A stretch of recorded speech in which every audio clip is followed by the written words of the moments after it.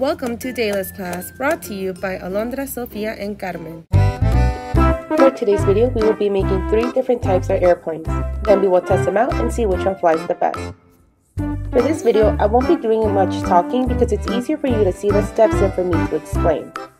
For your materials, you only need paper, scissors, and pen. If you miss a step, just pause the video or just go back and rewatch it.